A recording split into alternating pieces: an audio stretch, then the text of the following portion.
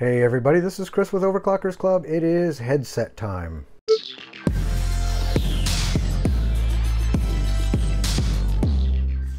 Every once in a while you get some offshoot brand. These come out of China. They're usually pretty inexpensive. Uh, but are they any good? So that's what I'm going to try and figure out today, if this is worth the price. And we'll go over that a little bit later. But this is by a company called Fifine, Fifine, I'm not sure how you exactly pronounce that. It says it's an Ampligame H9 uh, gaming headset, USB plug and play. That's nice. Of course, I mean headphones. Suitable for PC, Mac, and PlayStation.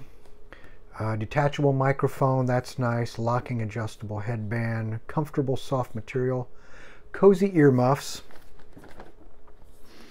Okay, we got a 3.5 millimeter connector that plugs into your little controller here.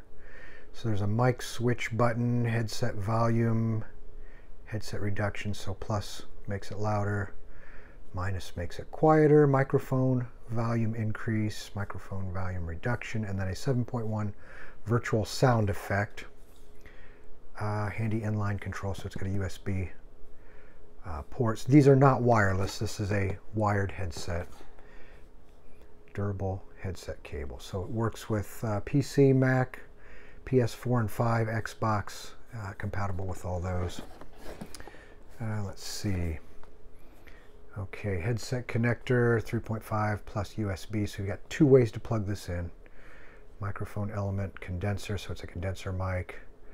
Polar pattern, it's omnidirectional, so you can't change that on this one clear audio quality, strong compatibility, plug and play, lightweight design, inline control, and detachable mic. Manufacturer, I'm not even going to try and pronounce that. I will slaughter it. So, let's see. I think these are also available in white. I'll pull up the website here in a little bit. But I think you can get these in uh, black or white, maybe even pink. So here's the user guide. Let's see how well this, sometimes these things are horrible. The translations to English sometimes are uh, pretty bad. Let me zoom out a little here. So uh, let's see. Uh, from what I'm seeing at a quick glance, these actually look pretty good. Yeah, I'll take a look at these in a little more detail here.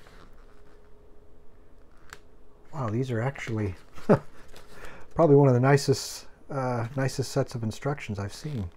Hmm. Well, that's interesting. All right, so let's see what we get. These are the headphones.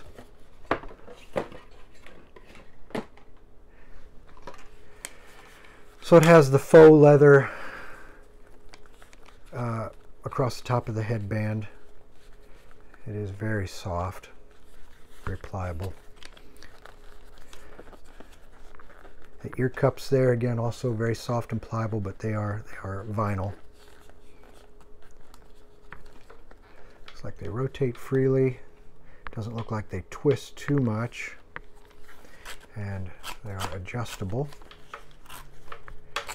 Each side in case you got one ear that hangs a little lower than the other.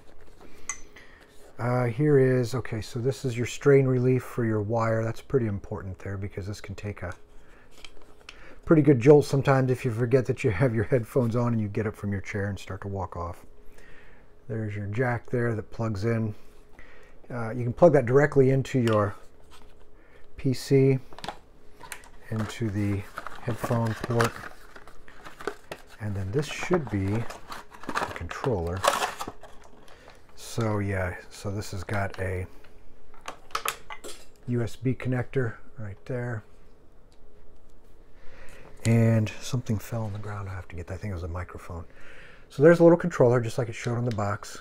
Looks like there's a little LED ring around that. So when this is uh, on, my guess is it probably lights up. And you can turn the microphone off or on so you can mute it. It has a little clip there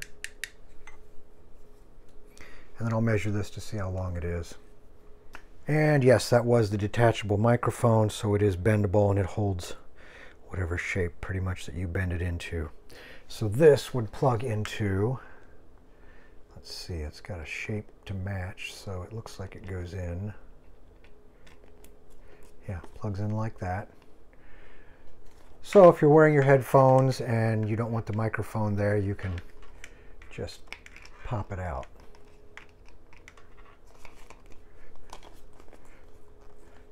There's your microphone.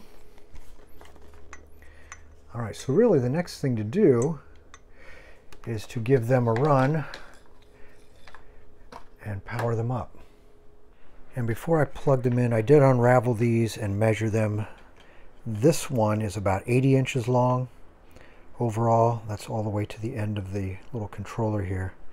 And uh, this one that's attached to the headphones, this is about 40 inches long here to the end of the plug. Okay, so right now I'm using the Cougar microphone that you can see right here, and I'm using Audacity to record the audio. So just for comparison, uh, we'll use this microphone first, and then we'll use the microphone on the headphones. So now what I want to do is a quick test uh, so you can see what this microphone sounds like, and I'll compare it to this Cougar gaming microphone here. Uh, usually these little included microphones uh, actually sound pretty good, so we'll do a real quick test. Okay, we're going to use this Cougar gaming microphone here as sort of the initial test. Now I'm about a foot or so away and you can adjust the gain to get the best sound, but you can see I'm using Audacity there to record. And this is just to sort of compare what a microphone like this sounds like uh, as compared to the microphone that comes with the headset. Now I'm actually uh, using the microphone here and uh, you can get an idea of what it sounds like. And it actually has uh, a very nice um, I guess, a full-bodied sound, if you want to say that. It, it doesn't sound like uh, some of the cheaper microphones that you find on the headphones that sort of do enough to get the job done, but uh, this one actually has a pretty nice sound to it. Now it's interesting, if you look at the manufacturer and you go to their website, they've got a lot more than just a couple of headphones. They've got quite a few items here. If we look, they've got ton of microphones, all kinds of uh, high-end professional microphones interfaces. We've got headsets, which we looked at one of them today. Got a lot of wireless components, a handful of speakers, uh, looks like some spare parts. So they've got quite a range of products. Now it makes sense. You know, a little earlier when I mentioned how nice I thought this microphone sounded, well, that's what these people do. They make microphones.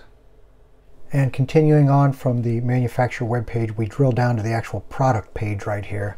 Again, this is the Ampligame H9 gaming headset. All the information you need about it is here. You can see the list price is normally $37.99. It does come in black, white, and pink, like I thought earlier. Let's see what it looks like in pink. Oh, okay. Yeah, not bad if you like pink and white.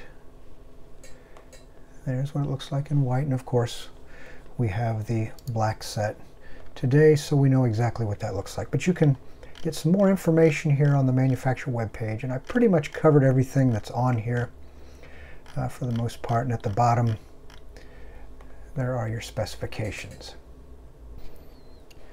Alright, so uh, I did some gaming, listened to some music, uh, Call of Duty, uh, Battlefield, did a little F1 racing, and they don't sound too bad you know, there's not a lot of bass response. You're not going to get the kind of performance that you would out of some really expensive high-end headphones. And the 7.1, the little surround sound button here, uh, it sounded good in some things and not good in others. It's just, uh, it's one of those things that comes down to personal preference.